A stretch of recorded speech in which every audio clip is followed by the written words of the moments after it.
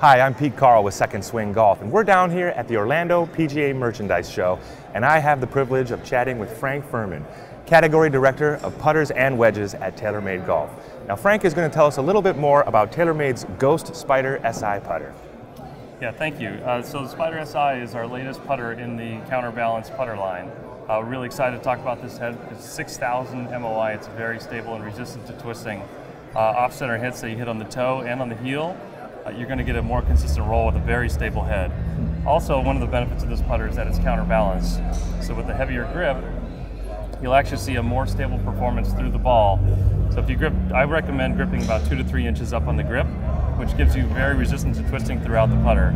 Also with the pure roll insert, we're going to get that ball rolling a little bit faster for a more consistent roll and speed.